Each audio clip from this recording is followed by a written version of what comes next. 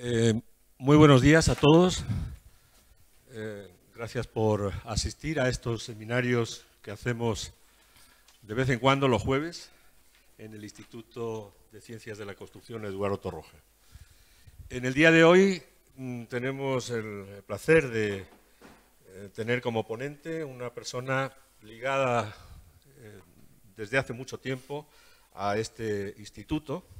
y preocupada por el tema de la industrialización y de la vivienda. Me voy a es José Miguel Reyes, doctor arquitecto. Me voy a permitir leer eh, el currículum, lo impreso un poco pequeño, vamos a ver si... Bueno, es doctor arquitecto por la Escuela Técnica Superior de Arquitectura de Madrid. Eh, voy a dejar aquí, no. Em, su tesis eh, tiene que ver con las viviendas construidas a partir de S3C.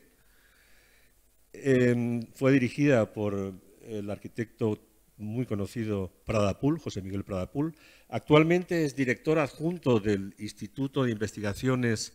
del Espacio, o Espaciales, más bien del Espacio, ¿no? Eh, Instituto Internacional para la Investigación del Espacio. Vale. Es miembro del proyecto de industrialización de vivienda. Es profesor de proyectos de la escuela en la Universidad Alfonso X el Sabio. Tiene mm, varios libros, siete libros relacionados con todo este tema de la flexibilidad de viviendas industriales o industrializadas.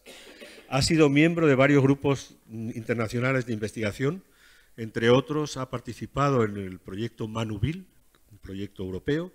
en un proyecto que se coordinó también en esta casa, el proyecto Inviso, en un proyecto internacional Solar Decathlon en Estados Unidos y que luego se trajo aquí a España. Ha trabajado en temas de la adaptación de detalles del código técnico de la edificación. Fue premiado en varios concursos, eh, ha tenido premios en varios concursos internacionales y dicta mm, talleres y cursos de posgrado en diferentes escuelas, en la Escuela Técnica de Arquitectura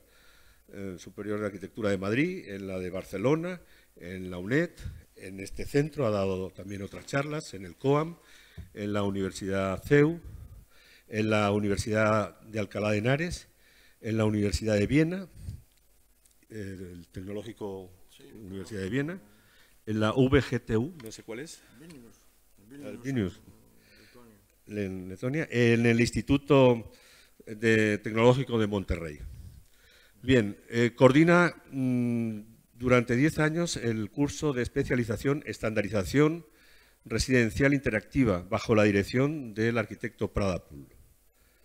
Em, la mayoría de su obra se incluye dentro de la arquitectura ligera, desmontable, em, salas polivalentes, ha hecho diversas obras de arquitectura en, Griñón, en Cienpozuelos, carpas, pabellones para eventos, etc. Eh, hoy la charla eh, que nos va a dar, el título es Fabricación de componentes 3D en cadena de montaje, ventajas y posibilidades. También quiero comentar que eh, José Miguel, desde hace, yo diría que más de 20, 25 años que nos conocemos, ha participado y ha colaborado con la revista Informes de la Construcción y siempre en temas relacionados con industrialización de la vivienda. Si mm, interesa eh, a los que estáis presentes o a los que nos estáis viendo en streaming eh, buscar información, informe, y aprovecho la propaganda, Informe de la Construcción es de las pocas revistas Open Access, gratuitas, y podéis meter en búsqueda a José Miguel Reyes y aparecen todos los artículos que ha hecho desde el año 90, estuve viendo ayer desde el año 89 incluso, 86, eh, relacionados con este tema. Así que es una persona con mucha experiencia en la industrialización de la vivienda. Os dejo y muchas gracias. Ignacio, muchísimas gracias. Gracias por la presentación. Realmente, sí, nada. Eh, en fin, eh, lo primero, gracias a todos por vuestra, vuestra vuestra presencia y evidentemente también al, centro y a, Ignacio en su, persona por, la invitación y por esta mm, calurosa acogida que ha sido así. Y, bueno, y, por otro lado, pues estoy encantado de, encontrarme eh, al final con, caras con caras nuevas y, caras antiguas y, conocidas también. Y, bueno, en fin, eso, algo, algo que, tiene que ser como lo más natural del mundo, porque llevo por aquí, por los pasillos, desde hace muchos, muchos años, pues sin embargo, debido a las presentaciones estas rituales, se convierte de repente en algo que parece mucho más apoteósico. En fin, vamos a, procurar eh, hacer algo lo más ameno y fácil posible y a ver si conseguimos llegar a un, turno de, preguntas, que creo que es lo más interesante eh, para los presentes, que por lo menos poder aprovechar, ya que estamos aquí, para, luego aclarar cualquier tipo de duda o lo que sea. ¿no? Entonces, eh, bueno, vamos a arrancar con estas imágenes que veis aquí.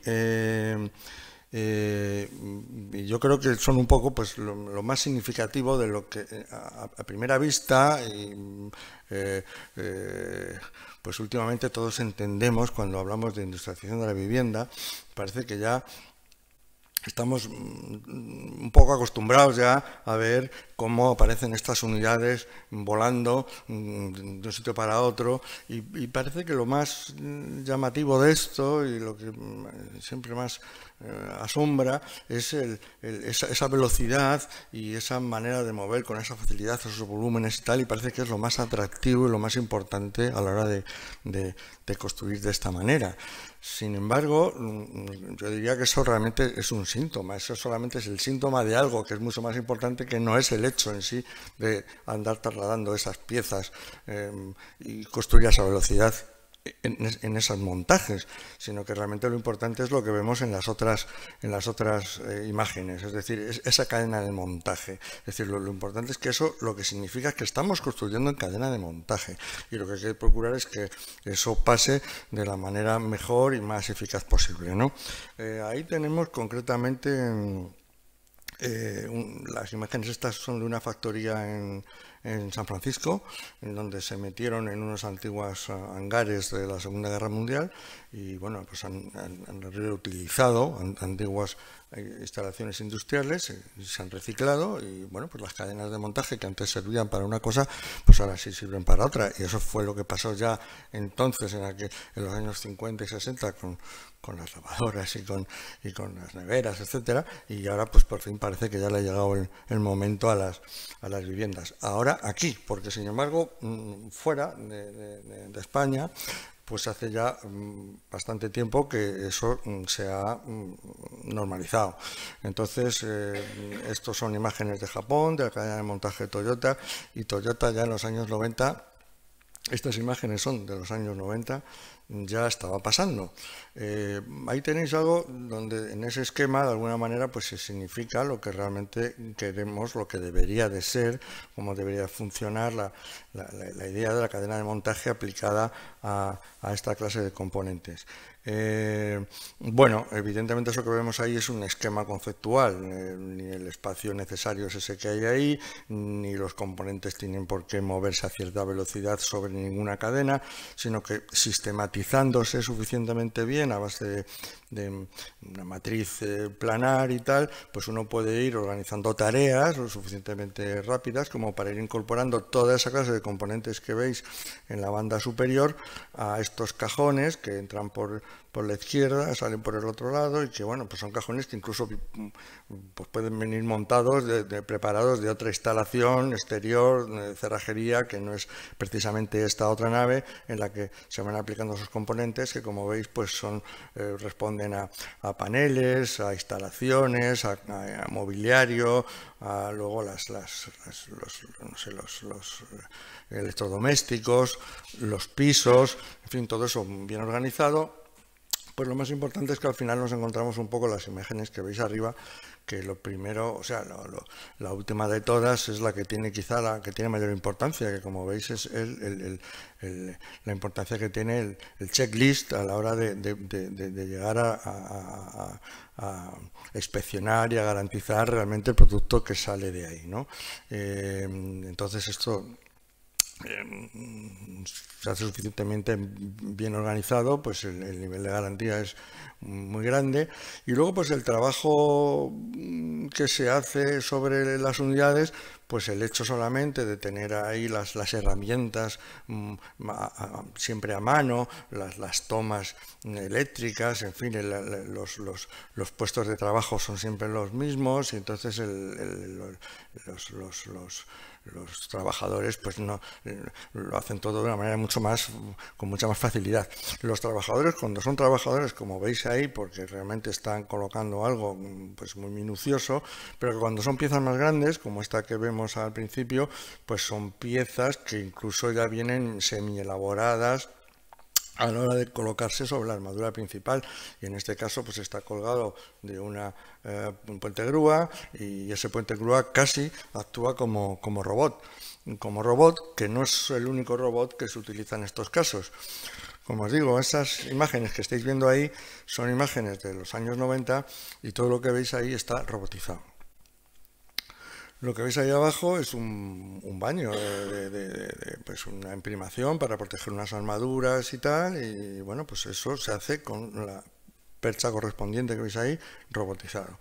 Eh, esto que veis aquí a la izquierda, que veis como un plotter que se está moviendo, pues es otro robot que lo que está haciendo es sellando la carpintería, y todos los bordes que haya necesarios, eh, que haya en todo su rastro, pues está ya programado y, como veis, pues todo el tema de sellado con toda la garantía que esa máquina supone, ya una vez que has hecho los ensayos correspondientes y aquello ya siempre se hace así y de esa manera y sale mm, efectivo.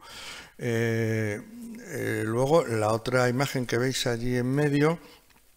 pues resulta que están colocando los, los, pilares de, la, caja, del box, los pilares los están colocando a su vez eh, cuatro brazos robóticos que estáis viendo de color amarillo que están colocando el pilar, de forma que eh, la persona que estáis viendo ahí es una sola persona a la que está dirigiendo la operación, que en otra situación pues podrían ser dos o tres personas. Bueno, pues eso es lo que eso es lo que eso es lo que está pasando y así es como se produce, como se debe de producir en cadena de montaje, pues como se está produciendo cualquier vehículo aplicado a esto. Esto evidentemente, si hablamos de ventajas, pues da lugar a una serie de ventajas que son estas que veis ahí y que, y que realmente yo creo que ya las conocemos casi todos y todos los que estamos un poco implicados en esto, y al menos los que estéis aquí presentes, pues sois todos del sector, pues ahora mismo tenemos la suerte de que, mm, desde luego, en el entorno más cercano que yo conozco, eh, la implicación que hay a la hora de producir viviendas de esta manera, pues es muy grande y yo creo que esta clase de ventajas que son eficacias, que tienen que ver con la calidad y, con, el, y con la economía, pues son sobradamente conocidas y son las que nos, nos están empujando a todos a ir en esa dirección. Ahí veis pues en fin, como las, las, ventajas, pues, pues eh, vamos a ver si yo no lo veo bien desde aquí, pero eh, pues son eh, ventajas en cuanto a la, a, la a la, automatización, pues estamos viendo que son ahorro en tiempo, en materiales, el Lean Production, la, organización del estocaje, eh, eh, los operarios, pues con toda facilidad, evidentemente la, la, incorporación de, la mujer a estos procesos es mm, inmediata, eh, la seguridad en el trabajo es mm, más fácil. Y el control de calidad y los sellos, pues como os decía, es, importantísimo y nos lleva a que realmente podamos sacar de la fábrica eh, componentes con un sello de garantía eh, CE o el que corresponda y, bueno, que, ese, componente y el que responde a ese componente tenga, tiene ese nivel de, ese nivel de, garantía, como decimos. Luego, el nivel de incorporación de valor añadido a, estos, a estas unidades, pues también mm, puede llegar hasta donde queramos. Entonces ahora mismo estamos viendo en, esa mm, pared exterior todo lo que hay son células fotovoltaicas que están aplicadas en, en, ese paramento y como pues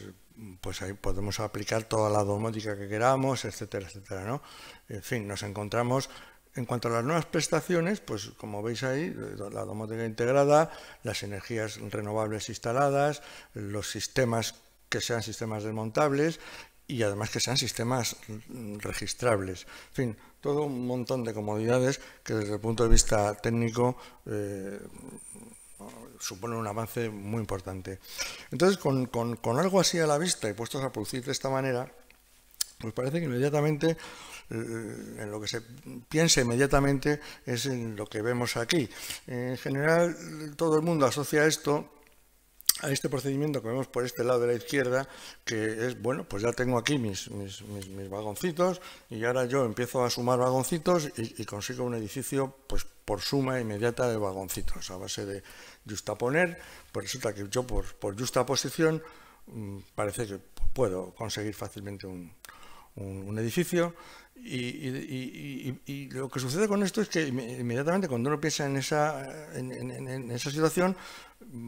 pues parece que estamos pensando en algo que es un procedimiento muy repetitivo, que lo que era repetitivo en la cadena de montaje, que la cadena de montaje debería serlo, al llegar aquí parece que seguimos a la cadena de montaje y entonces esto también va a ser repetitivo. Y además da la sensación de que eh, eh, a la hora de construir esto, pues eh, esas unidades responden también con las unidades de construcción que hemos visto en la cadena de montaje, corresponden también con unidades espaciales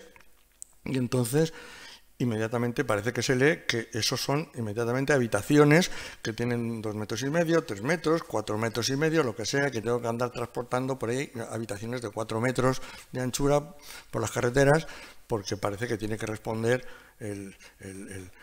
la unidad constructiva con la unidad espacial. Cosa que ahí a la derecha, como veis, mm, esa imagen desmiente. Y en esa imagen de la derecha, que es la otra manera de orientar esto, mm, se orienta como veis, parece que, es, lo contrario, es como un puzzle. Y entonces ahí eh, parece que la, operación que se ha hecho es, es, la contraria, es una especie de desmembración de la pieza de la que, de la, del total del que partimos. Es decir, es, es, saber realizar una buena estereotomía de la pieza que queremos y entonces pues, pues, pues llegar ahí con las unidades correspondientes, que no tienen por qué ser todas iguales. Esto, la, la idea esta de Llamarle a esto arquitectura modular, pues es justamente lo que e-, e-, equivoca el, asunto. Y ahora todo el mundo, ahora cuando estamos todos lanzados por aquí, ya resulta que, esto es arquitectura modular. Y bueno, la arquitectura modular es esto y algo que se venía haciendo hace también mucho tiempo, siendo buena o mala arquitectura. Y, claro, parece que cuando eh, el módulo tiene que corresponder con esa pieza, pues parece que ya el espacio se ve sometido a lo que esa pieza diga. Y sin embargo, como veis ahí a la derecha, pues algo muy importante mm, resulta que no, que lo que estoy es componiendo un total a base de piezas que se pueden conjugar entre sí. Eh, el hacer esto de aquella otra manera, de la, de, la, de la, segunda manera, también hay que tener mucho cuidado con ello, porque evidentemente si vamos a componer un puzzle y el puzzle está demasiado ajustado eh, y reajustado, resulta que evidentemente con lo que nos encontramos allí es con una arquitectura más estática y aquí con una arquitectura más dinámica. En ese sentido, esto parece que es más ventajoso y aquello, si no se hace bien, resulta que lo que hacemos es una pieza única, singular, que deja de tener otras ciertas ventajas que sí que tiene, eh, que puede tener esta clase de arquitectura. Entonces resulta que a la vista de eso y de esas posibilidades, realmente asomamos la cabeza y nos encontramos con algo como esto. Dice, bueno, entonces qué, entonces cómo, qué, posibilidades jugando a esto, mm, a, dónde podemos llegar, cómo qué es lo que nos, hasta dónde, hasta dónde podemos llegar. Bueno, yo diría que las, las ventajas técnicas son las que ya hemos enumerado anteriormente, pero a mí lo que yo pienso que ya son sobradamente reconocidas. Pero sin embargo, a mí lo que más me preocupa y nos preocupa a todos los que nos estamos un poco proyectando en esta dirección es cuáles son las, las posibilidades reales de, esta manera de construir a la hora de, de encontrarnos con sus, con sus prestaciones cara al, usuario y cara al espacio, cara a la arquitectura, es decir, qué, posibilidades tenemos. Entonces nos podemos encontrar con un bosque, con una especie de, amalgama, eh, parecida a esto que veis aquí. Entonces inmediatamente quien dice, ah, pues, pues, pues esto es bueno para hacer montones de cajas de hormigón. Y hay quien dice, no, pues esto es bueno para hacer, mm, coger containers, pintarlos de colores, entonces poner los containers así, así, esto es más divertido que las cajas de hormigón. Y hay otro que piensa, no, pues esto mm, pues sirve para colgar cajas por ahí y tal, y que esto tenga un cierto aspecto dinámico y tal. Entonces, y hay quien evidentemente pone en marcha el tema de la serie, nos lo muestra como tal, como hace Rogers en este edificio que todos conocemos, que yo diría que de alguna manera es la que le da el, la carta de naturaleza real a esta casa de arquitectura en el siglo XX, porque anteriormente se viene construyendo evidentemente en cadena de montaje, incluso pues haciendo viviendas de madera, etcétera, etcétera, pero digamos que Rogers cuando hace este, este, este esfuerzo, pues hace un, edificio memorable y, nos enseña pues, a hacer buena arquitectura con, este, con estos recursos o con otros cualquiera. Entonces, ¿qué, ¿qué, es lo bueno y qué es lo mejor y qué es lo preferible? Esto, aquello, lo otro. Pues hombre, si uno está pensando en esta manera de hacer y está pensando en estandarizar, parece que lo, lo, recomendable es intentar conseguir mm, eh, sistemas de no solamente sistemas de producción estándar, sino sistemas de montaje y de, edificación también estándares. Entonces resulta que lo que vemos por ahí, sin embargo, eh, por la derecha, por ahí arriba, pues puede parecer que es estándar porque parece que está más o menos normalizado, pero sin embargo el procedimiento que hay de, ensamblaje y de enganche de las piezas, pues parece que es a ver qué es más original y a ver qué es más o menos sugerente. Entonces son situaciones sugerentes que hablan de dinamismo, pero de un dinamismo que no es real, de un dinamismo que se queda ahí a nivel monumental, todo muy estático, o nos encontramos con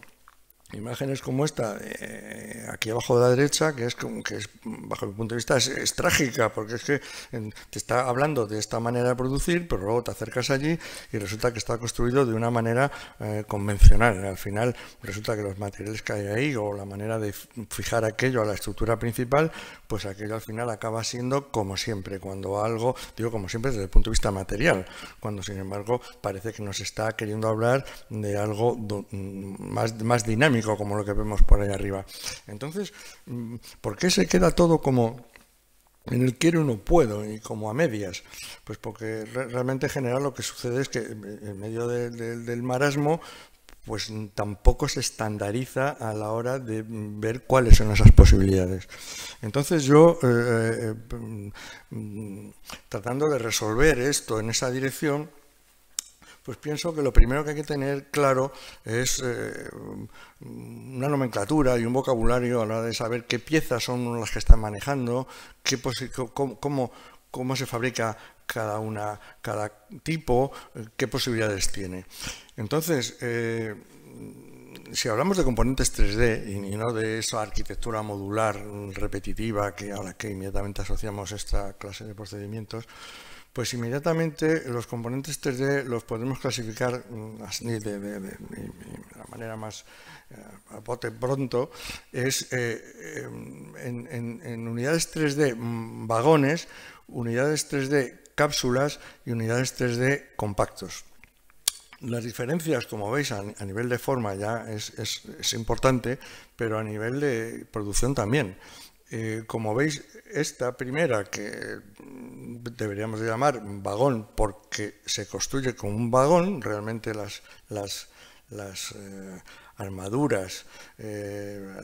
la, estructura de la unidad y la manera de implementar mm, unidades sobre esa estructura, pues el procedimiento es el, de cualquier vagón, un vagón de ferrocarril un vagón de un camión, un vagón X.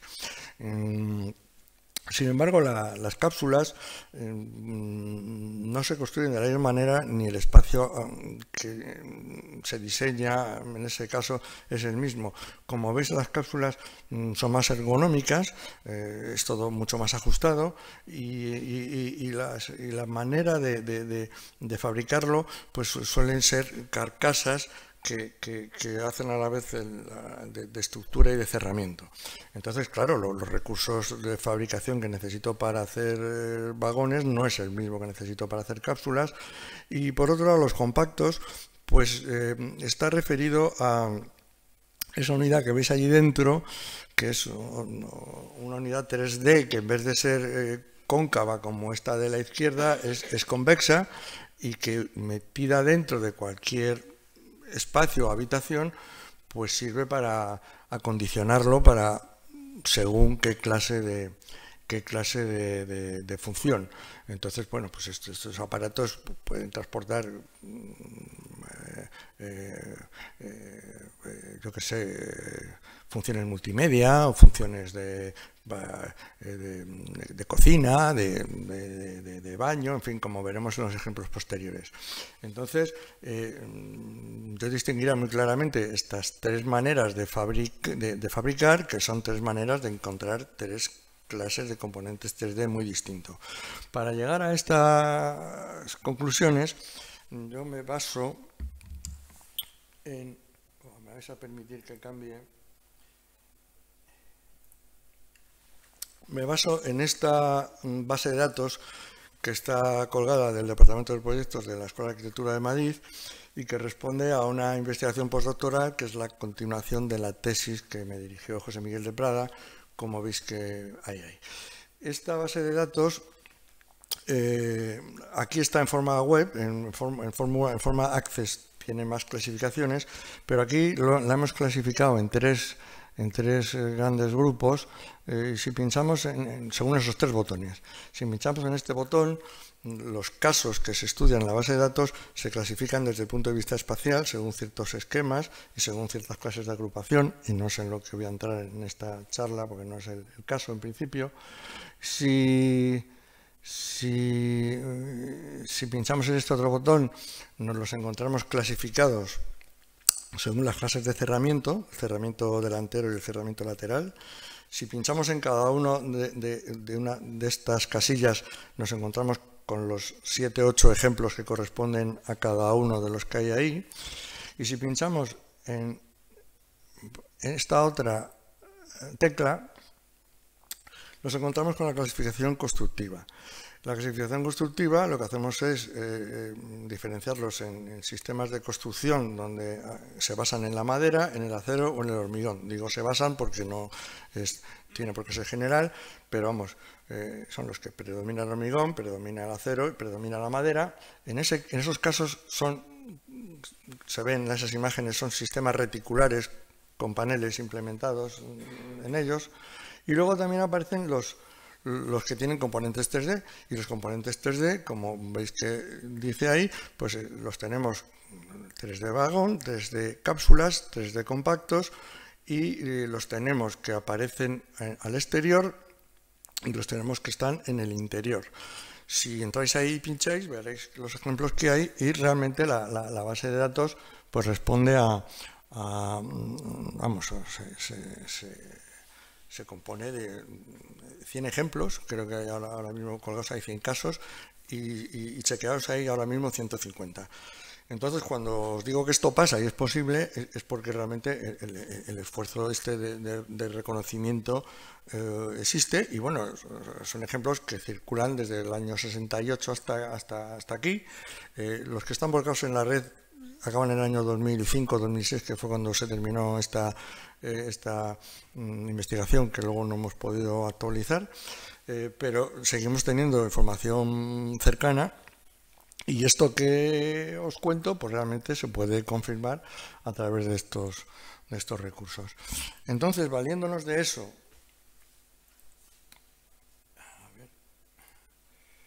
valiéndonos de eso y de dos artículos, uno que está a punto de publicarse, por si no esta semana, la que viene, que es este que veis aquí, y otro que está mm, en revisión, pues es con lo que quiero mm, seguir eh, dando la, mostrando ejemplos que, bueno, pues este artículo me, puede valer para organizarme un poco y lo que hemos hecho ha sido eso, utilizando esos ejemplos que salen de donde os he dicho, eh, seguir clasificando a partir de ahí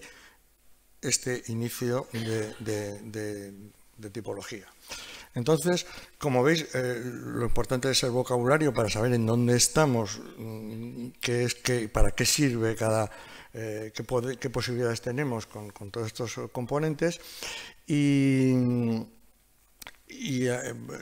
esto, eh, este, este, esta nomenclatura inglesa, el bonding, eh, significa, viene a significar algo así como aparejo. Entonces sería un poco tratar de encontrar cuáles son los aparejos estándares mm, de, los, de las unidades 3D. Si conseguimos mm, reconocer cuáles son esos aparejos estándares, pues podemos empezar, se podemos seguir estandarizando también en esa fase de montaje para que esto sea mm, más fácil, más reconocible y menos creativo, entre comillas. Entonces, eh, eh, bueno, esto es el origen de todo esto. La cadena de montaje, como veis, empieza en, la, en el Airstream y con Fuller, que en ese momento justamente empieza a, alinearse con ello. Aquí aparece el vagón que os he enseñado antes. Esta es lo que responde a la clasificación de la que hemos hablado, ¿no? la, la cápsula, el, el compacto. Y aquí mm, resulta que si eh, nos centramos, voy a ponerlo esto en pantalla completa.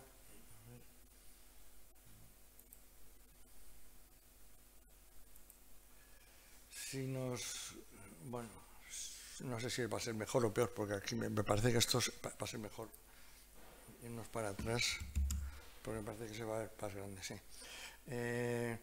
si nos eh, acercamos a la manera de aparejar vagones 3D,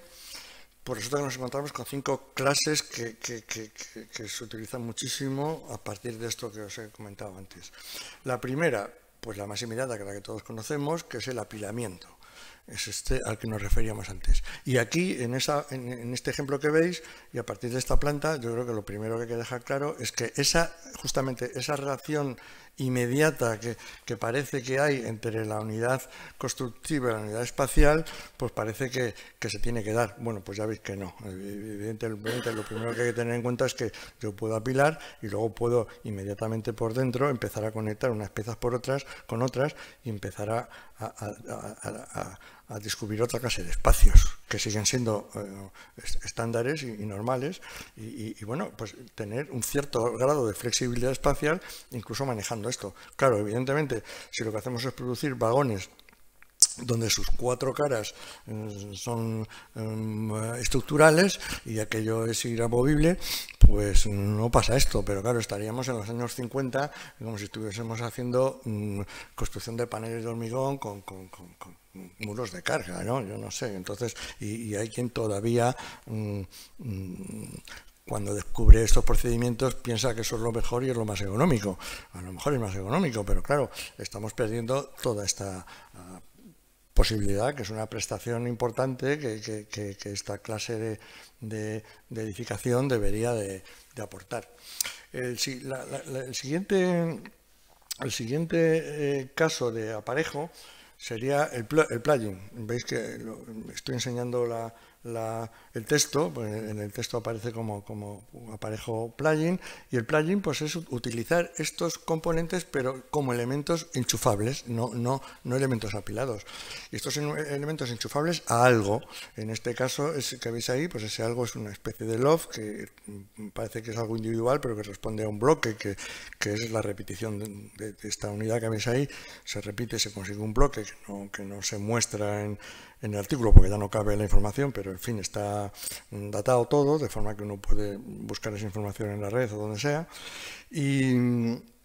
como veis, la gran ventaja que tiene el, plugin es que disponiendo de una flota de, componentes 3D mm, suficientemente amplia y, un catálogo que me ofrece una serie de posibilidades espaciales, pues aquí podemos elegir entre varias cocinas, varios baños que están conjugados con varios dormitorios varios eh, balcones, eh, varios almacenamientos, etcétera, etcétera. Entonces, si cada vivienda se compone de cuatro eh, componentes de estos, pues según los enchufe, pues tengo una vivienda, tengo la otra e incluso puedo llegar a modificarlo.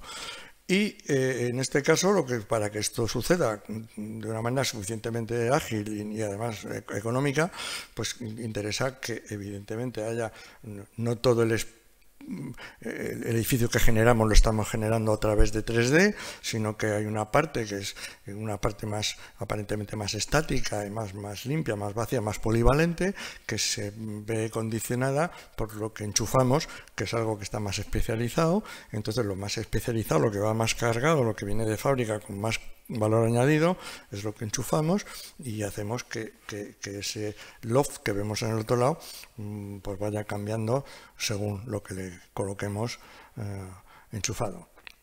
Otra manera de, utilizar estos, estas unidades sería colocándolas dentro de, dentro de dónde, pues dentro de un espacio suficientemente grande como para meterlas dentro. Entonces, eh, este sería el, Inside Bond y en este caso este ejemplo es una vivienda justamente de José Miguel de Prada, eh, se llama la Casa del Paraíso y es una vivienda que, eh, estuvo premiada por el cual en el año 92 se llamaba la, vivienda del 2000, en el año 92 con un jurado de campanillas. Ahí estaba Campo Baeza, estaba, estaba Oiza y llegaron a, a, premiar esto, que por cierto está, está publicada en Hombres de la Construcción, en un número del año 92 precisamente. Eh, bueno, pues veis que es un invernadero de un tamaño considerable, eh, en el cual pues ese invernadero se equipa a base de unidades 3D vagones y 3D cabinas también, y además le ha incorporado vegetación, porque de hecho si estás eh, haciendo un invernadero, bueno, pues él ya mm, lo maneja para que controlar el medio ambiente, de forma que por un lado tienes un grado de control muy fuerte dentro de la cabina, pero por otro lado luego tienes una acomodación intermedia en ese espacio intermedio. ¿no? Los vagones en este caso Veis que están apoyados en el, suelo y bueno, pues tienen cierta libertad de movimiento y esto pueden enchufar con cierta facilidad a esas instalaciones que en este caso veis que corren por, por el suelo. La otra manera de utilizar estas unidades pues sería en un in-between. El in-between es ese espacio entre, entre, entre eh, dentro y el fuera, en donde aquí la nave, como veis, también existe, pero eh, bueno, hay una serie de espacios más colectivos posiblemente en el lado grande, es decir, es parecido al plugin que hemos visto antes, pero aquí los espacios son eh, no son de la vivienda, sino que son colectivos, y el, y el, y el plugin mm, no se queda fuera, sino que se queda en una estación intermedia, de forma que eso hace que esas piezas pues, pues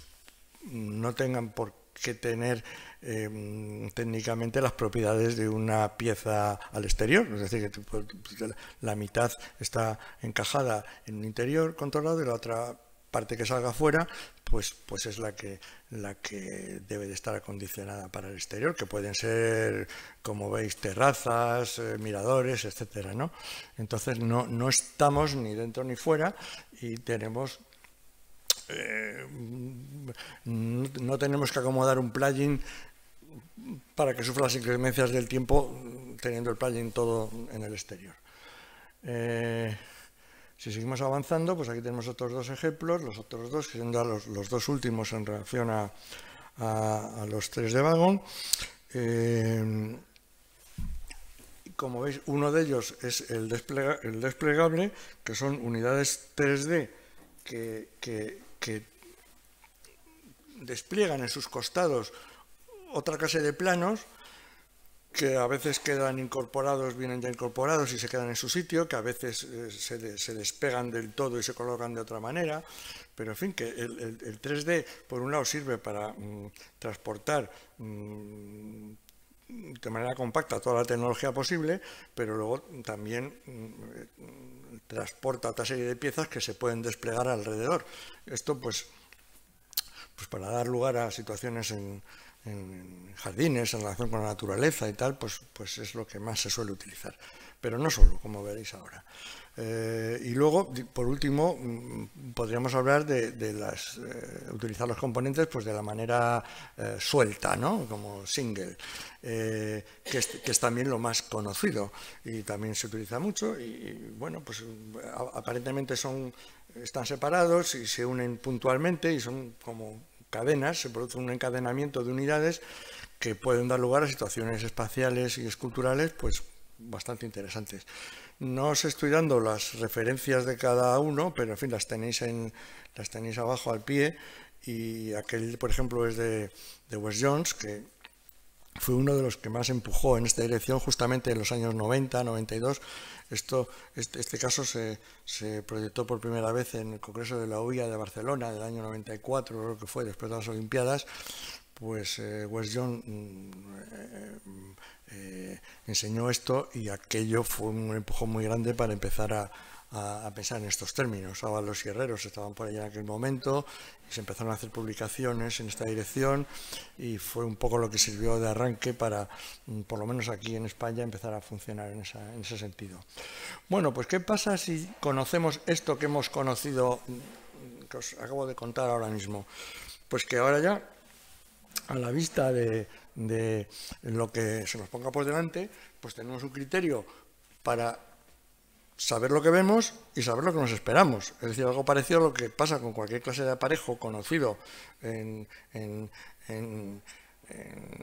sillería o en, carpintería, en donde sabemos que una, una, sillería que tiene tal aspecto, pues se ha producido de tal otro, ¿no? Y eh,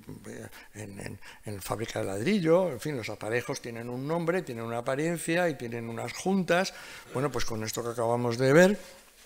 si ahora observamos el ejemplo de la izquierda, ese es un ejemplo plugin inmediatamente. Parece que está sujeto a una retícula, pero estamos viendo que son unidades separadas y entonces eso, ¿qué está pasando? Que, es una, son unidades enchufadas a, una edificación que hay detrás. Ahí, está, ahí están los nombres, no tenéis más que ir a hacer la búsqueda y encontraréis como efectivamente esas oficinas que están en Hamburgo, pues esto es una rehabilitación en donde lo que se ha hecho ha sido añadir esas unidades a la edificación existente. Si vemos aquello que hay allí, que vemos que tiene bastante continuidad, aunque parece que los, paneles aparecen ahí como salteados, pues sin embargo, eh, al estar tan continuo, con estos entrantes y salientes y tal, eso responde al apilamiento. Pues efectivamente así es, y luego ahí dentro, si atendemos a esos apartamentos que están hechos en Brooklyn, pues veremos que no son todos los apartamentos iguales, ni los espacios que hay se comportan igual, que ya no lo están diciendo los propios cerramientos. Es decir, es, un apilamiento que dentro de sí tiene un cierto margen de flexibilidad, como nos dicen sus eh, cerramientos. Eh, si miramos esto, que es de Cedis Price, también uno de los grandes de, esta manera de, construir, de estos promotores eh, que se metieron a, defender esta, este, esta, dirección de mm, fabricación, pues eh, vemos como aquello es un, un in-between del que lo que estábamos hablando. O sea, vemos eh, como las piezas entran o salen, como están bajo un techo que las protege, y en este caso es un centro cultural eh, cerca del Támesis. Y este otro que estamos viendo que están montando, pues todavía no está cerrado, pero eso, em, esos, esos esas grandes eh, vagones que estamos viendo que se están colocando sobre esa retícula, acaban em, configurando ahí dentro una especie de hélice en el espacio, y luego este invernadero, se vuelve a cerrar aquello como el invernadero que veíamos de, de Prada, y nos encontramos esa nave con una retícula interior en la cual las, los vagones están en diferentes niveles. Es decir, nos encontramos en el caso eh, inside. Este otro eh, es el de los vagones sueltos, que os decía anteriormente. Este también es de la, la UIA, la UIA del, del 94 de la que os estaba hablando, eh, justamente en paralelo a lo que West Jones traía, pues ahí ya había tres o cuatro arquitectos catalanes con algún extranjero que montaron esa exposición eh, en una de las plazas de Barcelona. Y por allí vemos un pabellón de, de, em, Renzo Piano eh, que llega a un pueblecito italiano a rehabilitarlo y entonces pues por las noches en el pueblo organizan reuniones pues para adiestrar a la gente a la hora de, aprender metodologías y tal, eh, para implicar un poco a la población. Y entonces esas lonas que veis por ahí, esos cables y tal, todo sale de un, cubo principal que se ha descargado, aquello se despliega, en fin, eh, responde a eso. Y con eso y con todo, resulta que aunque pueda parecer que de esa manera tenemos, mm, de la manera más clara posible, denominadas las posibilidades que, tenemos para jugar con estas piezas y la generación espacial que traen tras de sí,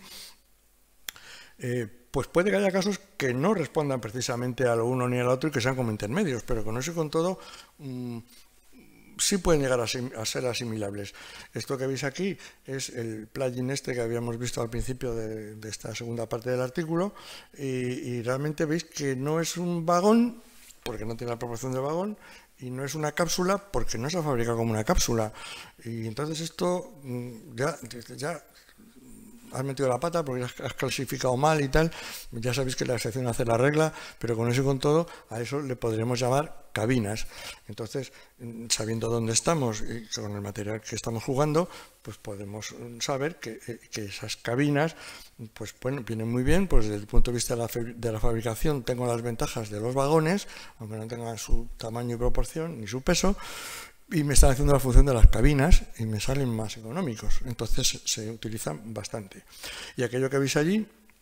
es una de las viviendas de una de las competiciones de Solar de Caldon, en donde veis que la vivienda se configura a base de dos vagones eh, paralelos, uno a cada lado, y en medio queda como un espacio libre que se cierra con las placas de unas placas de, de suelo techo que vienen con cada vagón y que luego se colocan entre medias. Bueno, pues estaríamos en una situación de estas de extensible, ¿no? de, como os he dicho antes, de, despliegue. A base de despliegue, pues podemos conseguir eso, con lo cual se ve claramente que no tengo por qué eh, necesariamente a la hora de generar esta clase de espacios, no tengo por qué estar eh, pensando en, en apilar y poner en paralelo constantemente la misma unidad. Hay maneras y maneras y de esta manera, según lo que vaya dentro mm, de cada vagón, pues puede que me interese eh, equiparlo o no y que puede que haya espacios entre medias que realmente no, tengan por qué ser vagones. Y todo dependerá además también del nivel de flexibilidad que se necesite en esta clase de espacios y que nos interese un plugin o no, o, esto. Entonces, eh, creo que con esto se acaba este artículo y entonces... Mm, Ahora seguimos con el primer PowerPoint. Seguimos con lo que os venía contando antes y entonces eh, eh, me voy a valer del siguiente artículo que está en el horno, eh, en parte, para seguir hablando de las cabinas y de los compactos y terminar un poco la sesión y seguir charlando un poco. Entonces, en cuanto a, las cabinas, ah, perdón, a, las cápsulas, eh, a la hora de hacer la clasificación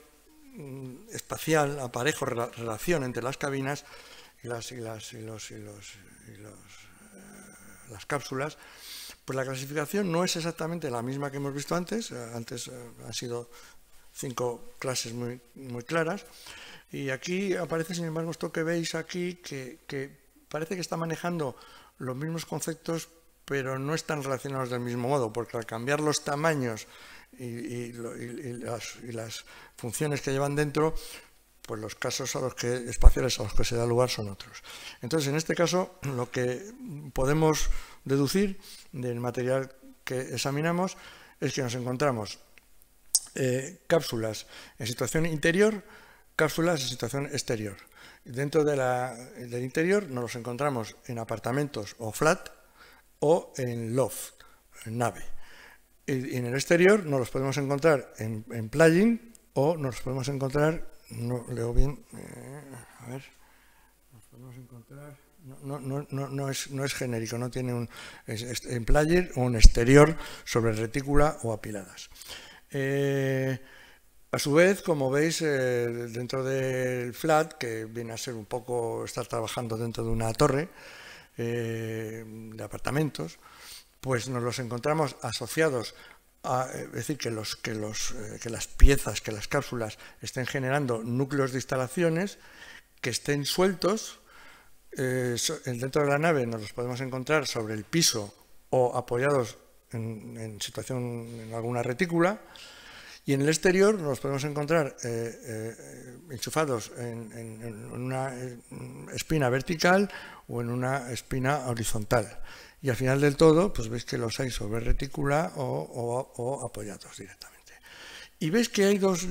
dos filas, la de la cápsula y la de las cabinas, porque como os anunciaba anteriormente,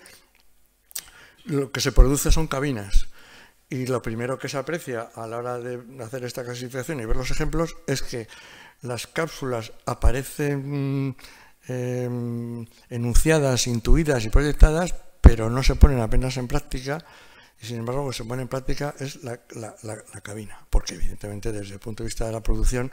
es más, es más económico, es más fácil. Para hacer cápsulas necesito moldes, los moldes tengo que amortizarlos, no es tan fácil. Y sí se utilizan, pero se utilizan en el mundo de la locomoción. Es decir, evidentemente, para, tanto para trenes como para aviones, eh, yates, eh, pues se produce un suficiente nivel de, serie como para tener moldes y poder hacer eh, cápsulas. Y esto, pues por, por, no cambiar las rutinas de los que montan y producen en, en, edificación convencional, pues no se viene a utilizar, pero no se utiliza por no trastornar el procedimiento que conocen los jefes de obra en Albacete. Entonces, eh, eh, en Albacete, que precisamente producen, producen mm, cápsulas de estas, porque en Albacete están produciendo cápsulas de estas para llevárselas a Murcia, para ponerlas en los yates que hay en Murcia, entonces en, Cartagena, y los están produciendo allí y en los yates los ponen, pero en la edificación no lo ponen porque no hay nadie que se proponga cambiar el diagrama de flujo de cómo hay que mm, mm, montar esta clase de, mecanos. Eh, entonces, bueno, pues vamos a, vamos a pasar por estos ejemplos lo más rápido posible, comparando justamente y, viendo cómo, cuál es el ejemplo de, cápsula y cuál es el ejemplo de cabina correspondiente, y además también anotar cómo las cápsulas están hechas, mm, están todas proyectadas por los años 60-70, y sin embargo las cabinas están todas proyectadas a partir de los años del 2000. Entonces, a partir del 2000 esto se ha venido haciendo basándose en lo otro, que es lo de los años 60. Y luego, pues sí, a nivel de curiosidad, notar también que la mayoría de los ejemplos que veis ahí, por lo arriba, por lo menos el 50%, el 60%, eh, están planteados por Arquigram. Arquigram, sabéis que eh, se dedican a, fomentar y divulgar esta clase de, de arquitectura y ellos, por ellos han pasado sus proyectos toda esta clase de posibilidades es decir, eh, tanto, eh, tanto los, eh, los plugins en horizontal como en vertical, como, como la colocación de, dentro del loft, etcétera, etcétera. ¿no? Al final ellos lo han propuesto y otros hemos sido los que hemos ido aplicándolo después como hemos podido. Entonces, si entramos en esta última recta de la presentación, ahí tenéis el primer caso, eh, utilización de cápsula y cabina en interior de un apartamento eh, como núcleo de instalaciones. Pues uno de los primeros y más importantes es este caso que veis de Jean Prouvé en 1955, que llegó a colocar el prototipo al lado del Sena y que estaba hecho para un, un abad que iba a hacer un campamento para gente, en fin, en la época de posguerra y tal, y luego pues no se llevó adelante, pero yo qué sé, por cuestiones de estas, por medio de patentes y, tal, pero mm, bueno, el encargo se llegó a hacer y, y Jean Prouvé pudo llegar a, a, chequear pues los pesos, las velocidades, la posibilidad de que ese núcleo mm, se colocase en su sitio y cometiese sus funciones, ¿no?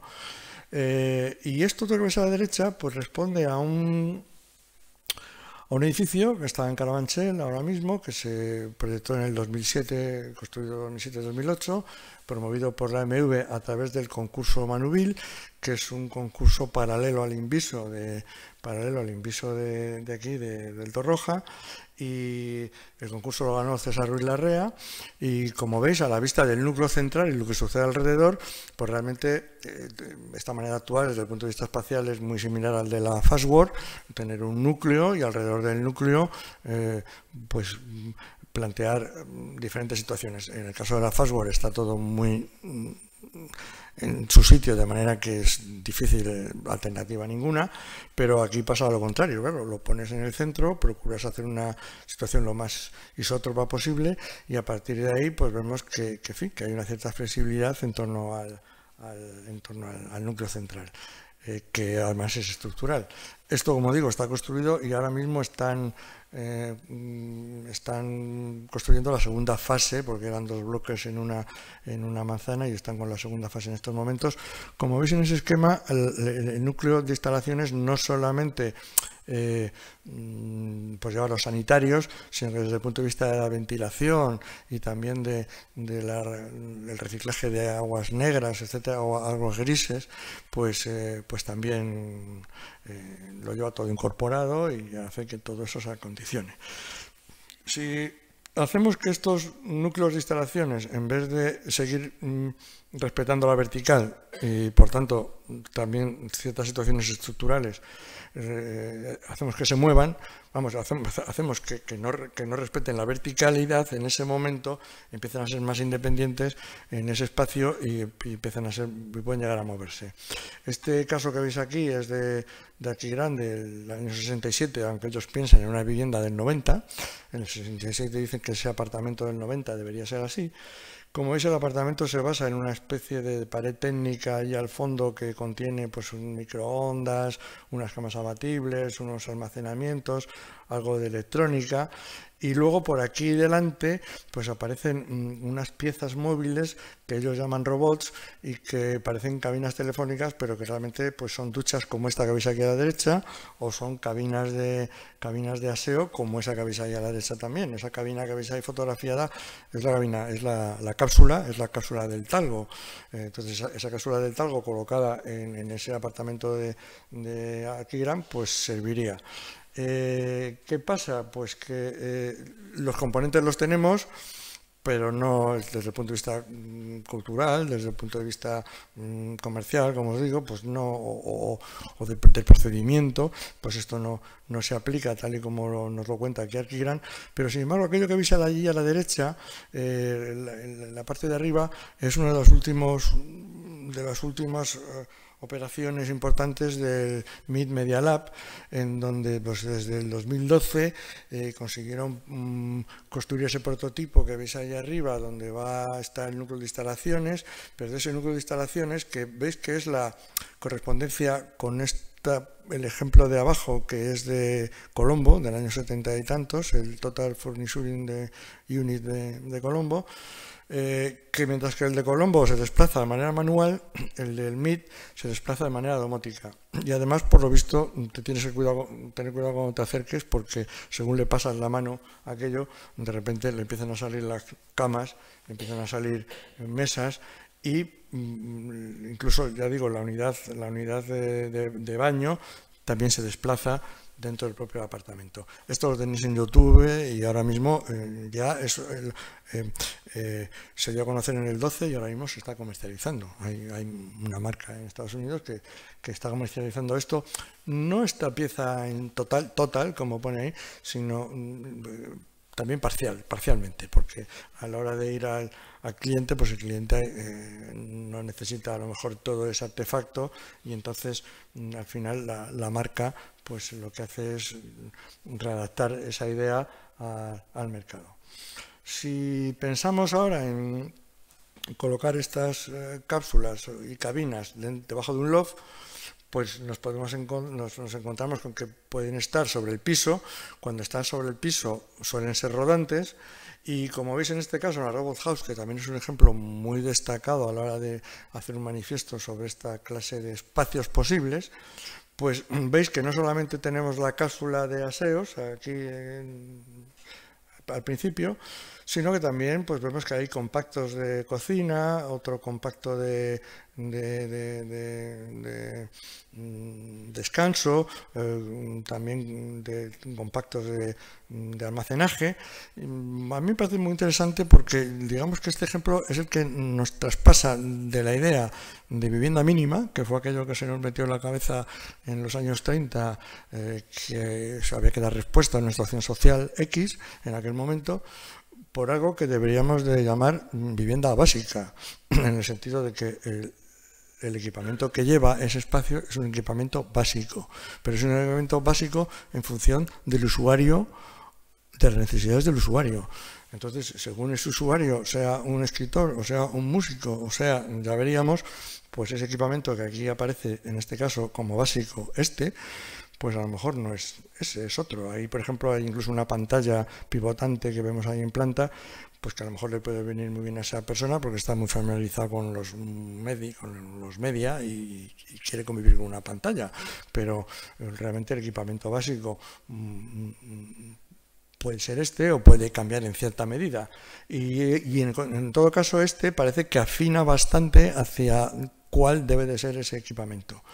Eh, esto se queda en el dibujo, sin embargo allí, convertido en cabinas, pues veis que se está construyendo. En un caso estamos en unos loft en, en, Indoven y en otro caso, pues otro loft en,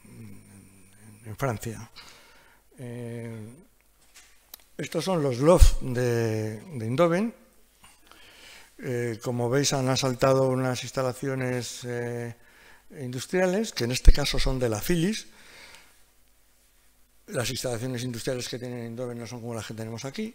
y resulta que, la Philips deja por ahí unas naves tremendas de pisos, como veréis ahora, en donde si las asaltas convenientemente, pues veis que con solamente equiparlas con esa cabina de instalaciones que veis allí, que transporta el aseo, o como veis aquí, puede transportar el aseo y la cocina, pues eh, bueno, veis que aparece la zona de dormitorio en la parte alta de la cabina, que es lo que sucedía en la Robot House.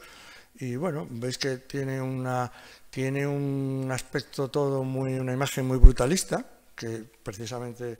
mm, tiene interés porque desde el punto de vista del movimiento y la accesibilidad de todo esto, pues si tú dejas las instalaciones vistas, pues podrás mover con más facilidad esos aparatos ahí dentro y cambiar ciertas situaciones y personalizar. Entonces, de hecho, veis que algo que como ahora veréis en el edificio desde fuera, un edificio muy, muy seriado, este edificio que veis aquí, estos, estos son las naves de producción de Philips, que las abandona hace cosa de 10 o 15 años, y eso que es muy seriado, pues sin embargo, dentro, construyendo de esta manera, veis que la serie también existe dentro, porque esta misma isla que estáis viendo aquí, de, cocina, yo le seguiría llamando compacto, el, compacto de cocina, pues el compacto de cocina es el mismo, el equipamiento que tiene de ventilación, iluminación, etcétera, va a ser el mismo en esta situación, en esa, en esa vivienda y en esta otra. Y te estás manejando los mismos componentes, pero da, da lugar a situaciones espaciales distintas. Eh, no sé si aquí se nos escapa algo. Bueno, aquí estáis viendo cómo en, el loft este en, Francia, pues hay dos hermanos que están moviendo su, su cabina de ocio-descanso, porque en esa cabina eh, está sirviendo de almacenamiento, de descanso y también de ocio. Ahí el, este chico creo que se le ve por ahí jugando un poco, ahí se le ve que está jugando, probablemente está jugando con un PlayStation o lo que sea, entonces eso, pues dentro del loft lo mueves, eso pesa, ya veis que eso, eso pesa, es de madera, pero pesa, y bueno, a la medida en que, la que eso lo motorices y lo robotices, pues te acercas a la robo a la robo house que se llama robo house por eso mismo. O sea la robo house es que todo esto si todo esto lo motorizas pues puedes empezar a conseguir todo esto que vemos aquí. En cuanto a la situación, en Love, en cuanto a la situación de mm, componentes 3D apoyados en el suelo o no, pues también se puede dar el hecho de, llegar a, colocarlo sobre retícula. ¿no? Entonces aquí veis un ejemplo de rehabilitación del OTEC, también son muy importantes en toda esta mm, vía de este camino hacia esta clase de espacios. Y Lotec, en este caso no solamente están reciclando un espacio también loft parecido al que vemos a la derecha en situación urbana, sino que, además reutilizan unos tanques mm, que veis por ahí de, almacenamiento líquido, y colocan uno en horizontal, otro en vertical, el vertical está aquí y se utiliza como, como aseo en dos pisos, y el horizontal pues se utiliza como, como espacio de, descanso y es más bien cápsula, es una, es una cápsula que lo que pasa es que como las cápsulas para esto no las producen, pues ellos lo que hacen es reutilizar mm, tecnología que sí que las usa. Entonces, eh, ellos reutilizan fuselajes de avión, en fin, toda esa tecnología que sí que utiliza la, tecnología de las cápsulas, y entonces se acercan a, la idea de Arquigran mm, reciclando, y por allí pues vemos que es eh, una, una, una cabina corriente colgada. Si salimos del interior y nos vamos al exterior, pues nos encontramos con los, enchufables. El enchufable más inmediato es el vertical. Esto es muy conocido, esto ha pasado por la mente de todos los que conocemos Arquigran y es su gran manifiesto, el de la, el de la, el de la City. Y esto que cuando en, cápsula se queda como, se queda como como, dibujado, sin embargo se lleva a la práctica cuando se convierte en cabina eh, y lo tenemos allí eh, cinco o seis años después. Es curioso el caso aquel porque veis que es una cabina con una cápsula dentro, veis que allí la, el, baño, el, aseo tiene su, cápsula es, es, es, de poliestir, de, policarbonato seguramente y, bueno, es que está todo, todo está producido en serie y, bueno, eh,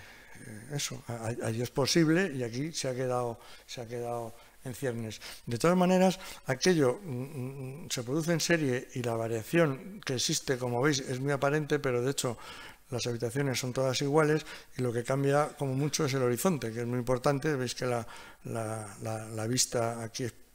predomina sobre el espacio interior y bueno, pues según te orientas la, cápsula, pues vas a tener un,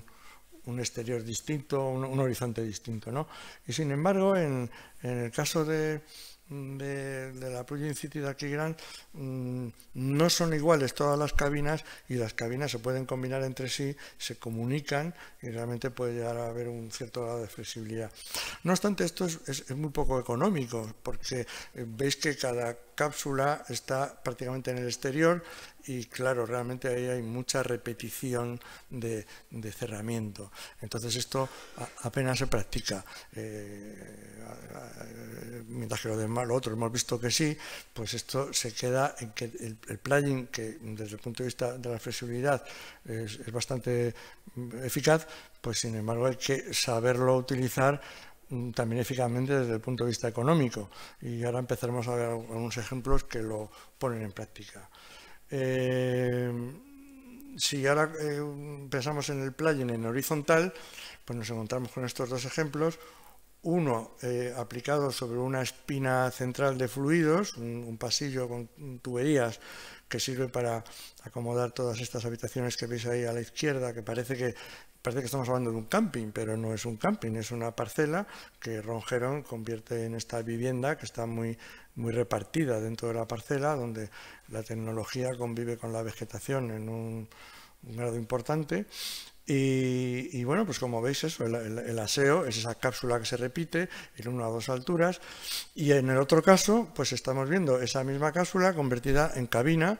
y que se aplica también en dos aquí son dos alturas apoyadas, allí son dos alturas además sobre retícula. En, este caso estamos trabajando sobre una espina, en el caso aquel de allí estamos trabajando sobre una eh, planta eh, eh, basilical. Entonces veis que el, el, repertorio y las posibilidades de variación mm, son muy grandes cuando uno se propone trabajar en esas condiciones de plugin y de la manera más eficaz posible, de manera que las, los, vagones dejan de ser vagones, son más pequeños, las cápsulas dejan de ser cápsulas y empiezan a ser cabinos para poder ser producidas. Y,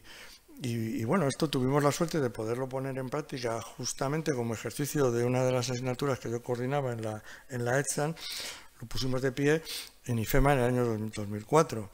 justamente con la ayuda de una de las marcas que ahora mismo está en, la punta produciendo, eh, eh, produciendo esta clase de viviendas pues ahora mismo, ahora mismo en Madrid, en paralelo a nosotros, se está produciendo otra, otra convención en otro sitio donde están tratando de seguir promoviendo esto entre promotores, etcétera. Y tenemos la suerte de tener aquí con nosotros, entre nuestros amigos, a alguien que trabaja justamente con, ha trabajado con Neoblog, ha trabajado, ahora está trabajando con, con esta ah, promotora, eh, que está mm, tratando de poner en, pie viviendas industrializadas en, el entorno madrileño y, bueno, y lo está haciendo de aquella manera, porque sin embargo, teniendo eh, gente, habiendo teniendo gente que, ha pasado por aquí y que conocemos estas posibilidades, pues sin embargo se está haciendo de una manera un poco más arcaica, ¿no? Y esto, sin embargo, tiene ahora mismo ya 15 o 20 años. Bueno, veis que manejando, en este caso, un catálogo de 21 unidades distintas, pues con estas 21 unidades distintas, vamos, distintas, eh, el, sistema de fabricación es muy parecido y es en serie y va, variando el equipamiento que le ponemos a, las unidades. Eh, y luego las unidades las aplicamos a la, a la, a la basílica, por decirlo, de, dominarla topológicamente de alguna manera, y, eh, eh, y esa, esa, aplicación pues va a dar lugar a una serie de, de, viviendas que, como veis, pues van variando en función de lo que le aplicamos. si ya salimos del plugin y, nos, y seguimos en el exterior, pues nos encontramos con el caso de la aplicación sobre retícula o, la, simple, el simple apilamiento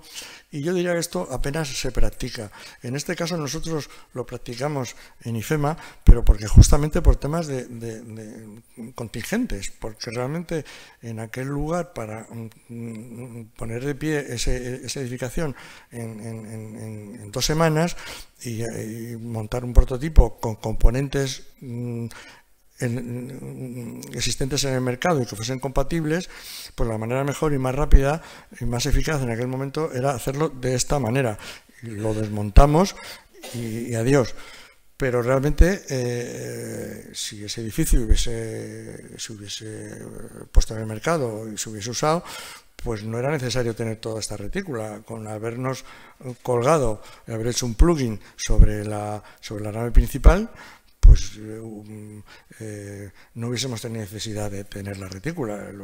Eso es un redoblaje de estructura que encarece el resultado, etcétera, etcétera. Sin embargo, todo el mundo cuando ve cuando, cuando ve este ejemplo, pues cree que, es que, es así, que, esto va en serio. Esto era una simulación que nos servía para, desde el punto de vista espacial, comprobar cómo salían esos espacios, desde el punto de vista del montaje, comprobar cómo funcionaba ese montaje, hasta el punto de llegar a comprobar que en dos horas podíamos desenchufar y enchufar y cambiar de sitio una cocina. Es decir, hacer una serie de comprobaciones de iluminación, de, encaje de piezas, de disponibilidad, pero no necesariamente mm, que aquello fuese exactamente eh, cabina sobre retícula, como sí sucede en este caso de aquí de la izquierda, que, veis que está hecho en una expo a nivel de manifiesto también, en, los años 70, y, hago este paréntesis, esta explicación, porque realmente esto, colocarlo en práctica, pues no interesa, como no sean los trópicos, que quieres que te corra el aire por ahí en medio, porque desde el punto de vista energético, pues esto es un disparate mayúsculo. Es decir, el, pensar que, que, está muy bien modular y que vamos a ver de qué tamaño modulamos y ahora vamos a modular con cajitas y ahora las cajitas lo vamos a hacer independientes, pues realmente eso es que no es que no lo puede hacer nadie eh, empezando a dejar dinero ahí porque claro eh, eh, tienes cerramiento por todos sitios tienes que gastar dinero en aislante en fin ah, insisto si, estoy en los trópicos puede ser interesante. Entonces como siempre interesa mm, saber cuáles son las posibilidades que tenemos a nuestro alcance y luego pues, realmente mm, aplicarlas lo, convenientemente. Y, otro, tanto, otro tanto es lo que se podría decir de esto mismo. Es decir, esto forma parte de la fiebre aquella de los años 60, años 70, en donde mm, parecía que modulando pues todo el mundo, el, mundo se iba a convertir en algo mucho más flexible, porque como todo era homogéneo y isótropo, pues, pues mira qué bien. Bueno, esto Mm, intentar luego distribuir dentro de cualquier clase de vivienda es dificilísimo. No, no, no, los condicionantes de, independencia y de circulación que se pueden dar por ahí dentro, pues no se dan. Y realmente esto al final sí que viene bien mm, para utilizarlo a lo mejor pues, para pabellones de feria, evidentemente. Entonces, en toda clase de pabellones, incluso en, eso, en exteriores, en, paseos marítimos, etcétera, etcétera, pues bueno, utilizar esta clase de recursos desde el punto de vista de marcas comerciales y tal, pues puede venir bien, pero desde luego para, para acomodar aquí dentro cualquier clase de, habitáculo, pues te las ves y te las deseas para intentar que eso sea realmente factible. Y ya digo, desde el punto de vista energético, pues... Eh, y, desde el punto de vista de tener los moldes mm, para poder producir esto, en fin, aquí eh, existen fábricas que fabrican esta clase de componentes, pero las utilizan para otra clase de menesteres, claro. Eh, y entonces ya para, terminar, si entramos en el, terreno de los compactos, eh, pues mm, conviene eh, a la hora de redefinirlos no olvidar que eh, eh, el arranque de esta clase de compactos proviene prácticamente de, del concepto de oficina-paisaje, como el hecho de, concebir aquella oficina-paisaje fue la que llevó a concebir las, las, las workstations y como esas workstations que se pueden mm, equipar para el trabajo, pues se pueden equipar para el trabajo, o se pueden equipar para la cocina, o se pueden equipar para, para el descanso o lo que sea. Y entonces pues vemos como aquello que hay allí, eh, que son estanterías, que parece que son estanterías de oficina, pues realmente pueden estar mm, eh, almacenando también eh, camas, etcétera, etcétera. ¿no? Entonces, aquí ves este ejemplo que es muy curioso. Este ejemplo es esto, esto está proyectado por Richard Rogers para la Joy de Londres y en vez de construirse esto, se construyó aquel otro de allí. Aquel de allí sí que se llevó a construir, que es una, una workstation también despiezable a base de componentes, todo muy servido, muy cableado, y esta pues, pues se quedó en, ciernes, pero lo tenéis y lo tenéis también publicado en otro número de informes de la construcción, dedicado a los, compactos también,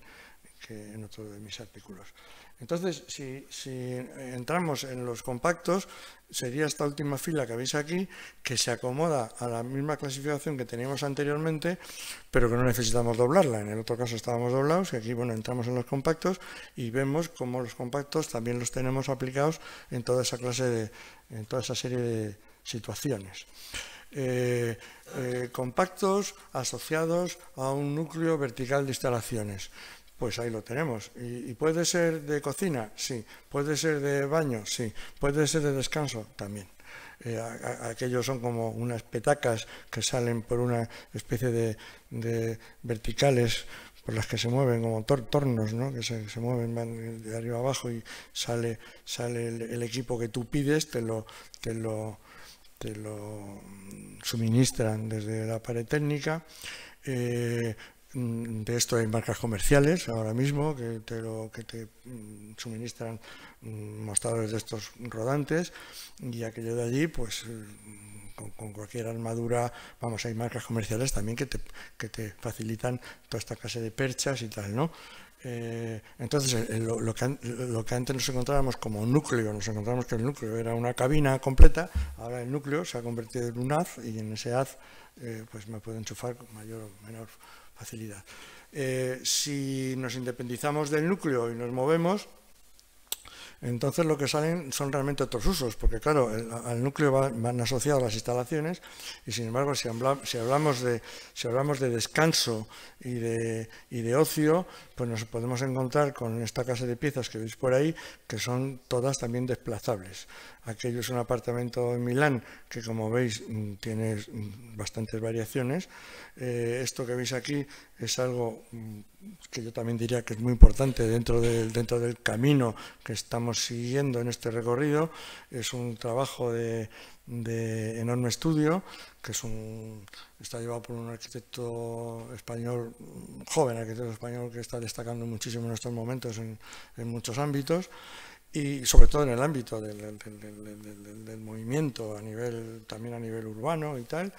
y ahí veis esta vivienda donde el equipamiento en este caso se desplaza, en su caso se desplaza sobre carriles, pero bueno, los puedo desplazar sobre carriles, eh, sobre el suelo, eh, como veis, esos armarios pueden estar más o menos compuestos de, fin, el, equipo tal, y ahí incluso veis una marca italiana mm, muy importante, mm, porque son herederos del, Colombo, aquel de, de Estados Unidos de los años 60, que siguen la estela de Colombo y que en este caso estáis viendo que, incluso mm, eh, ponen en marcha mástiles de cocina eh, desplegables, técnicos, en fin, tienen, tienen, un, eh, tienen todo un catálogo de, compactos muy importante. Están en Italia y, y, valen lo que valen, en fin, hay que meterlos, traerlos por el puerto de Valencia, por el puerto de Barcelona. Eh, aquí veis dos ejemplos interiores de esto que estáis contando y os estoy contando y eh, en la parte inferior pues está la, vivienda esta de, enorme estudio. ¿no? Veis que esa aparente mm, eh, libertad que puede haber con todos estos compactos a la hora de moverlos o piezas 3D dentro del apartamento correspondiente, pues según y cómo se coloquen, mm, eh, parece que tiene un grado de libertad importante,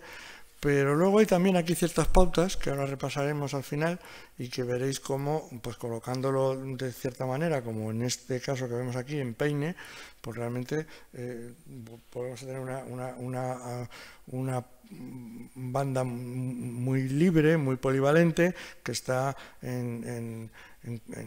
complementaria, de una manera complementaria con los compactos que le sirven. ¿no? Es decir, que de alguna manera, mm, si aquí se respeta eh, la utilización de bandas de servicio y bandas servidas, y bandas servidas y bandas servidoras, pues mm, la operatividad es más fluida y bastante importante. Eh, si seguimos avanzando y nos metemos con los compactos dentro de un LOD, pues nos encontramos con algo que pues, estamos todos familiarizados con ello, hasta el punto de que eh, bueno, aquello que en los años 60 era como un manifiesto eh, artístico que tenía que ver con Warhol y la factoría y eran como situaciones mm, sociales más o menos utópicas, pues sin embargo ya nos lo estamos encontrando eh, perfectamente en, situaciones de emergencia a la hora de acomodar refugiados, etcétera, etcétera. Entonces, el que esto se, haga de una manera más o menos improvisada o se haga de una manera realmente conocida y experimentada, pues realmente, es decir, los recursos existen, la, la trayectoria mm, proyectual también, y sin embargo, en vez de sacarle el partido espacial que se le puede sacar a esto, pues sin embargo siempre se, improvisa de cualquier manera y al final eh, mm, la emergencia es la emergencia y algo que puede dar lugar a situaciones espaciales importantes, pues, pues, pues veis que la situación se, al final no, se desestima y, o se desaprovecha. Eh, como veis, eh, la, Robot House de, de Herron que hemos visto antes, pues encontraría un poco también dentro de esta situación, porque como vimos anteriormente, no solamente tiene cápsulas dentro, sino que también tiene compactos y aquello, pues en fin, dentro de su dinámica, pues se viene a comportar casi como un plató de televisión pequeñito. En realidad es, como, es como plantear toda, todas las artefactos que tiene un plato de televisión, pues son los que te valen para conformar ese espacio que tiene un montón de eh, commodities eh, tecnológicas que te sirven. Luego, si, dentro del loft, en vez de estar apoyados en el suelo, pues queremos eh, manejarnos en una retícula, pues tenemos muchísimas propuestas de Kane Isaac, que en los años 70 pues eh, se esforzó muchísimo en esta dirección. Solamente tenemos que teclear en la red y veréis cómo hay muchísimo de esto. Entonces veis que en este caso el, compacto eh, forma parte de la retícula y, genera diferentes niveles. Entonces, y veis que curiosamente en, todos estos casos se mezcla el descanso y el trabajo en dos niveles distintos. el descanso aparece en un nivel y el trabajo en el otro. Más o menos es lo que viene a dar lugar un poco el, el asunto este. Y por último, pues eh, si veis, si hablamos de, mm, compactos en el exterior, eh, tanto apoyados como sobre plugin, pues realmente, bueno, nos encontramos con toda esta clase de, artefactos que sirven para, eh, generalmente, pues para mm, eh, recintos feriales y eventos, conciertos, etcétera. Allí veis un mástil tecnológico de Arquigran que, sirve para todo, que tiene sus proyectores, sus, eh, también, también dispara sonido, etcétera, etcétera, multimedia en un, en un mástil. Eh, aquí pues lo que estamos viendo es un equipo de, de, televisión que puede tener ahí una, una, mesa de control de estas para conciertos y tal, donde desde, ese, desde esa mesa de desde ese punto de control yo estoy mm, manejando un, medio urbano importante, ¿no? de hecho es un compacto de instalaciones de los que estamos hablando, pero colocados en esa situación si seguimos rellenando el, cuadro que teníamos eh, al principio, y ahí incluso vemos una especie de, tronco, de falso tronco, también proyectado por, por en donde lo que hacen es colocar un terminal multimedia también, un, USB de algún modo, que en la naturaleza, en donde en de aparecer el terminal técnico a bocajarro donde el picnic, pues están ahí camuflados en plan Disneylandia y han colocado ahí el, tronco tecnológico al lado del picnic, el perro, etcétera, etcétera. Arquigram. El que no lo conozca todavía, el que lo conoce, lo conoce, y el que no, pues ahí, ahí, podéis eh, descubrir de maravillas. Eh, y, he dejado para el final este ejemplo que me parece importantísimo y muy destacado y, no quiero mm, eh, aumentarlo más de la cuenta porque además tenemos la suerte que tenemos también al autor aquí con nosotros y, luego pues además puede también aclararnos. Y resulta que este caso, pues igual que hemos visto al principio el Manubil, eh, ganado por César Ruiz Larrea en el concurso Manubil, pues el, Inviso fue otro, otra investigación muy importante llevada a cabo justamente en el Instituto Torroja. Esto también está publicado en Informes de la Construcción, en otro, en los números. Y aquí vemos el uso del, del plugin en antes lo hemos visto en vertical, ahora en horizontal, y además como compacto, no como cabina ni como cápsula, que puede parecer que aquello que vemos por ahí es una cápsula o, algo así, o una cabina, y no es así. De hecho, lo que realmente se transporta es una pieza muy estrechita que se queda en el exterior, que es el compacto. El, catálogo de piezas, en este caso, eh, que veis ahí arriba, son seis, y con solamente esas seis piezas distintas, enchufándolas en donde interesa y eh, complementándolas con un complemento interior, que veis que es lo que aparece ahí ya dibujado en aquel, eh, en aquel dibujo más grande, pues entre el complemento entre el plugin exterior y lo que nos encontramos en el interior, damos ya lugar a unos espacios de servicio en esas viviendas que aparecen como distintos, pero realmente estamos enchufando algo que yo denominaría compacto dentro de toda esta serie, esta, esta inspección que estamos haciendo. Y yo creo que es muy importante tener en cuenta toda esta nomenclatura porque si no eso parece que nos estamos encontrando todo el rato ante aparatos 3D y que lo que estamos haciendo es haciendo invento, un invento tras otro y realmente por más que inventemos, realmente Mm, esto da para lo que da, los cuadros son los que hemos visto y realmente lo que tenemos que saber es si lo que estamos proyectando es, un, vagón, una cápsula, un compacto, en, qué condiciones, para qué, a qué da lugar y no estar pensando que estamos mm,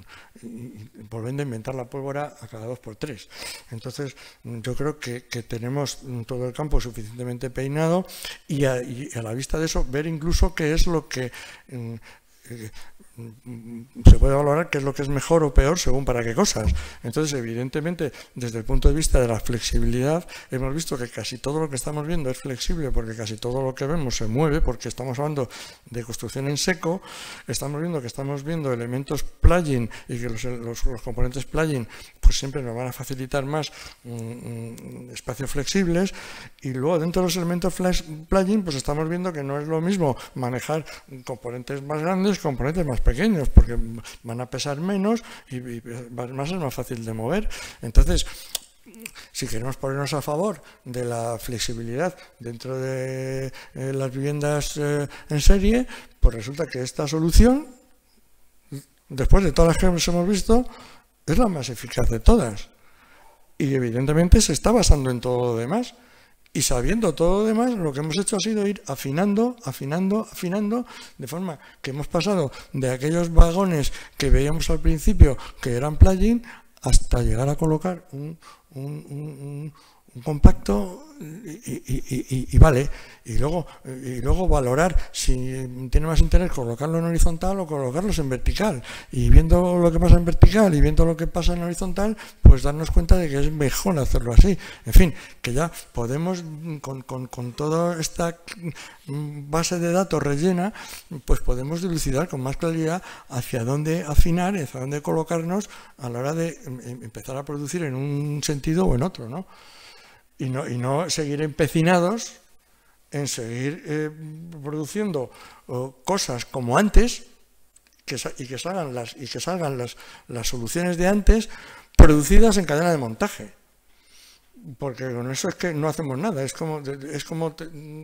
poder producir música electrónica y seguir queriendo hacer música como la de antes. Dice, pero si yo para la música de antes ya tengo una orquesta con violines y si, y si, y si yo este, eh, tengo eh, eh, música eléctrica, pues la música eléctrica saldrá de otra manera. Entonces yo diría que lo que ha sucedido de los años 50 a esta parte ha sido cambiar de la prefabricación pesada a la industrialización ligera, de la prefabricación cerrada a la industrialización abierta, de la prefabricación integral a la industrialización sutil, que diría el propio Julián Salas, también mm, anotado en otros informes de la construcción. Entonces, no es lo mismo estar eh, mm, mm, eh, proyectando y abogando por una industrialización que es ligera, que es abierta y que es sutil, que estar empecinados y encajonados en esto que hay aquí abajo, que es algo que pasaba en los años 50 y 60. El cambio este se ha dado, el esfuerzo por esto se ha hecho en, toda la comunidad europea y ahora mismo hay infinidad de estudios y centros como el Torroja, en, otros lugares de, la UE que no hacen nada más que afinar en esta dirección, hasta el punto de que ese, este eh, premio que acabamos de, revisar ahora mismo es un premio dado por un, jurado en, el Torroja en el año 2009 que está publicado en el año 2009-2010. Bueno, pues ahora mismo estamos industrializando y se está y, hay por ahí hay eh, otros amigos en paralelo por la Castellana de Madrid que están industrializando y están haciendo cajones de hormigón. Yo me quedo a cuadros. Y, no podemos decir que no tenemos los recursos. Los recursos son esos, están ahí y no están todos y posiblemente hay más. Tenemos suficientemente bien despachado el territorio, porque, y es muy importante saber cuáles son esas distancias, porque las distancias de distribución aquí mandan mucho, y resulta que además lo tenemos muy clarito. En el norte, ¿qué tenemos? La madera, el goin. ¿Qué tenemos? El acero, acerlor. Y aquí en Murcia, ¿qué tenemos? Pues los camarotes de los barcos. ¿Y qué más tenemos? Ah, ah, pues los, los, los caravans de los camping. ¿Y, qué más tenemos? En fin, y te vas a Lisboa, y en Lisboa ha habido quien se ha desplazado del centro de España a cerca de Lisboa porque pues tienen el puerto más cercano, ¿no? Entonces yo creo que lo tenemos todo. ¿Y los franceses por dónde andan? Pues ahí en medio del territorio, ¿no? Antes estaban en Valladolid, yo no sé si ahora ya la factoría de Valladolid ha dejado de estar ahí. Y Yves Cuñó estuvo por ahí, por Vitoria, parece, por Pamplona y tal, y, creo que luego desaparecieron. Mm, aquí en el sur teníamos a, las caracolas, que yo no sé si las caracolas han, han, siguen, produciendo o no, pero en fin, las, capitales más importantes tienen su, su, su, su suministro. Eh, Vía Celer está produciendo cabinas, de, cabinas de sanitarios sin parar. Y, bueno, y, Neoblock es, el que está ahora mismo en la punta de esto y es el que nos ayudó precisamente en la Escuela de Arquitectura a, hacer ese dominó 21 del que hablábamos antes. Bueno, pues todo esto está muy bien, pero yo ya con esta imagen y la siguiente termino. Todo esto está muy bien porque está muy bien hablar de producción, está muy bien hablar de, economía, de, eficacia y de lo que queramos. Pero, pero, pero al final lo importante son las ideas. Y la, arquitectura se mueve a base de ideas, Y las ideas tienen que ser eficaces. Y este señor de eso sabe mucho. Es el que le preguntaba a, Foster aquello de cuánto pesa su edificio, señor, señor Foster.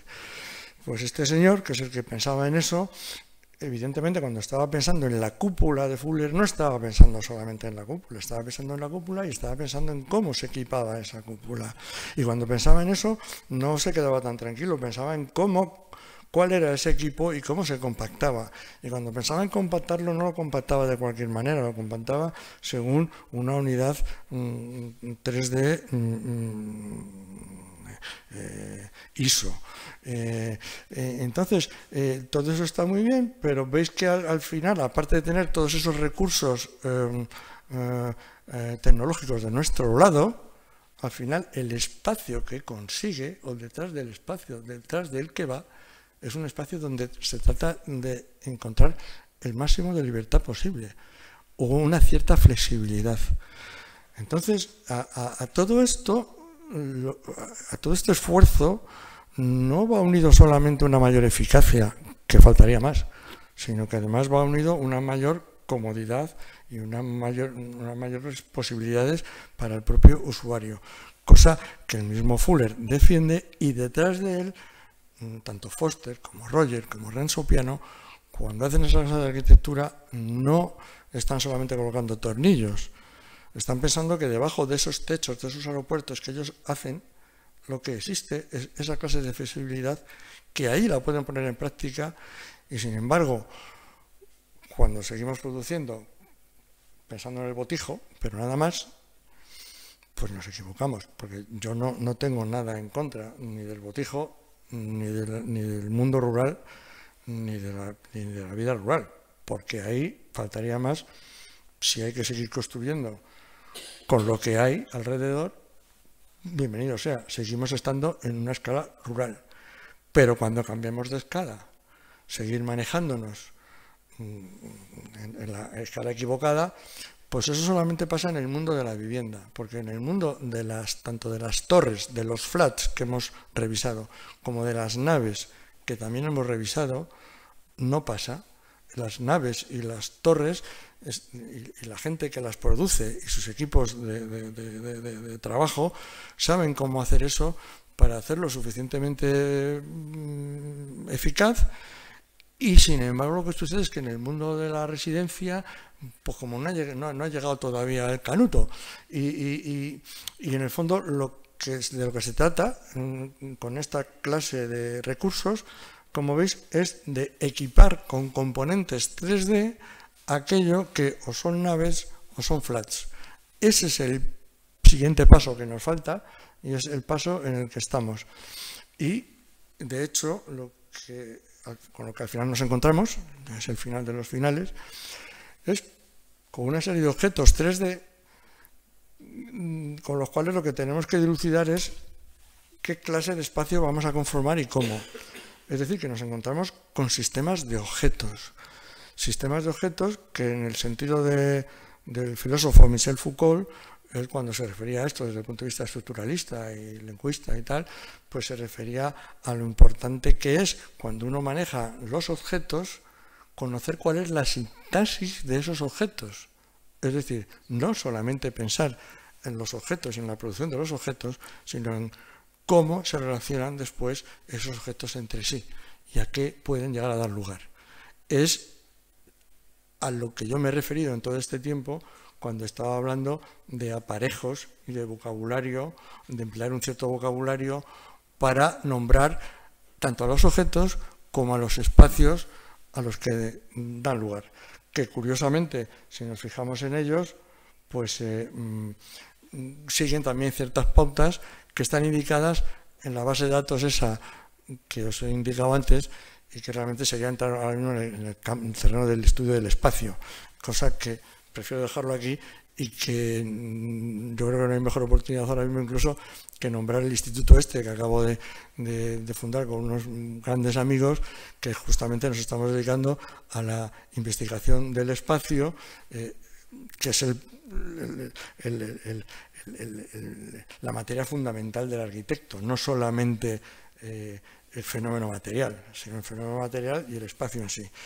Y bueno, pues sí, para terminar, recordaros que hay varios libros publicados sobre todo esto, con ejemplos, etcétera, tanto de estudiantes como propios y de ciertos compañeros,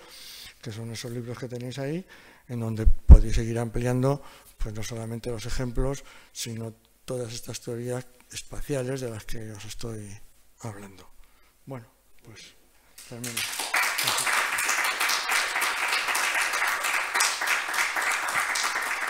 Gracias, gracias, gracias.